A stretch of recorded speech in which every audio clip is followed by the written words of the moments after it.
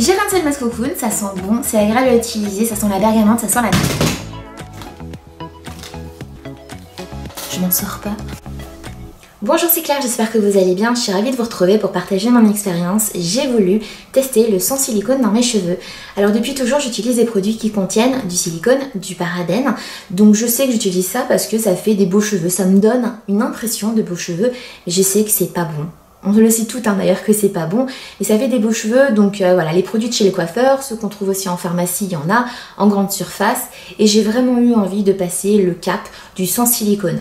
J'ai nettoyé mes brosses, j'ai nettoyé tout ce qui pouvait contenir des résidus de silicone donc je vais laver mes cheveux avec une gamme de produits que je ne connais pas c'est la marque HIP, ça vous dit peut-être quelque chose. Donc ils font toute une gamme de shampoings. Donc là moi j'ai la HIP shampoing cocoon. Donc j'ai le shampoing, j'ai le soin, j'ai la crème pour après. Et ça permet de se laver les cheveux sans mettre de silicone, sans parabènes. Et donc moi j'ai la gamme pour cheveux secs ou abîmés. Donc je commence par le shampoing.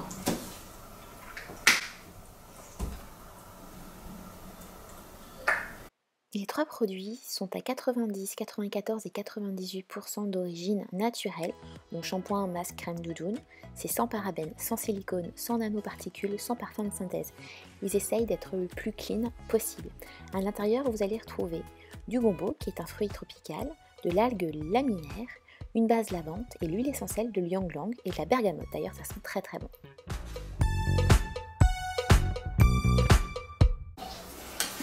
Je viens de à l'instant le masque cocoon que j'ai laissé poser 15 minutes sur ma tête. Les cheveux sont d'une douceur. Déjà le masque sent super bon, ça sent la nature, ça sent la bergamote.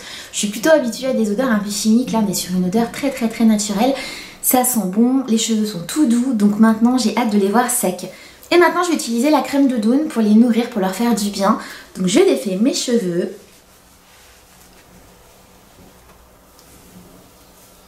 Mes cheveux sont plutôt pas mal pour du sans silicone, sans rien. J'avais très peur hein, du résultat. J'ai hâte de les voir secs. Maintenant, je vais utiliser le HIP crème doudoune qui sert à leur faire du bien, à les nourrir.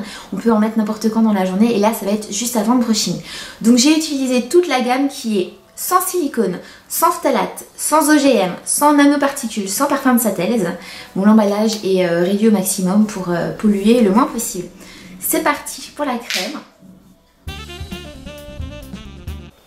J'ai la gamme Doudoune qui est faite pour les cheveux comme les miens qui sont abîmés, mais ils ont pour les cheveux, euh, pour tout type de cheveux.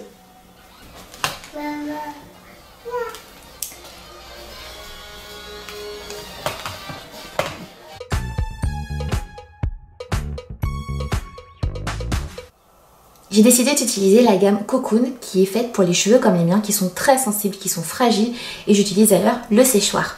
Avant d'utiliser le shampoing, le masque et la crème doudoune, je fais systématiquement un bain d'huile. C'est pas obligatoire mais je le fais depuis toujours donc ce sont des huiles bio. Il n'y a aucune touche de silicone dedans. Donc ce matin j'ai lavé mes cheveux avec le shampoing Cocoon. Donc ce produit ne mousse pas. J'avais très peur que ça ne retire pas du coup mon bain d'huile et que ça soit tout gras. Et ben pas du tout. À l'intérieur ça c'est le produit sur lequel j'ai craqué. C'est un masque, toujours de la gamme Cocoon, que je laisse poser 15 minutes sur les cheveux bien essorés.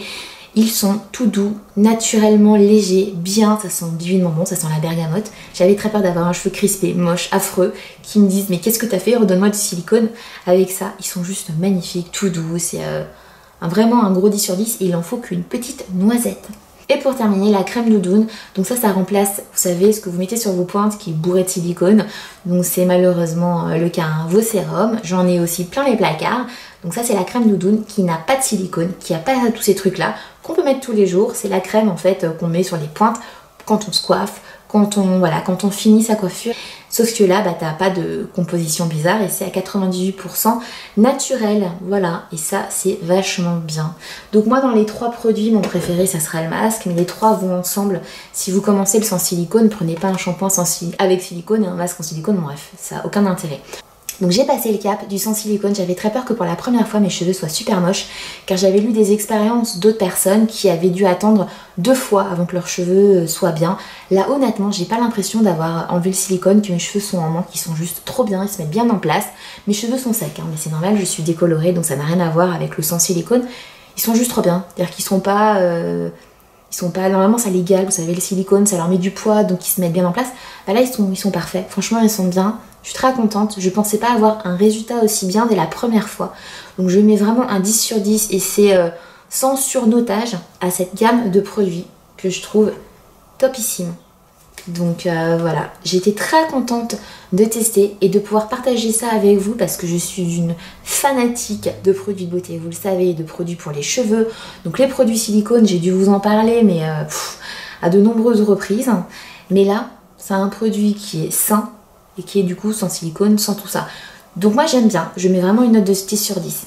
N'hésitez pas à me dire ce que vous en pensez si vous avez déjà testé vous aussi les produits sans silicone, si vous avez eu des bonnes réussites, si vous avez eu des gros ratages. Moi j'ai eu un gros ratage l'année dernière avec une autre marque que je ne citerai pas. Là, avec cette gamme de produits là, honnêtement, je suis hyper contente. Ça m'a vachement rassurée d'avoir des cheveux comme ça euh, dès la première fois. Je me suis dit, euh, voilà. Après, cette expérience n'appartient qu'à moi. Vous allez peut-être tester la première fois que ça va être affreux, voilà. Mais la prochaine fois, vos cheveux vont s'habituer à ne plus avoir de silicone. Moi là, pour la première fois, ben ils sont pas de silicone, ils ont rien et ils me font pas la misère, donc je suis plutôt contente. J'espère que ma vidéo vous a plu, n'hésitez pas à mettre des pouces en l'air pour me soutenir. On va se retrouver sur les réseaux sociaux, je suis sur Facebook et Instagram et très vite sur YouTube. Sans nanopatricules de synthèse, parfum de synthèse, je recommence. Parce que moi mes cheveux sont vraiment drogués au silicone. Hello c'est j'espère que vous allez bien, je suis ravie de vous parler de shampoing. Ça fait un moment que je voulais tester des shampoings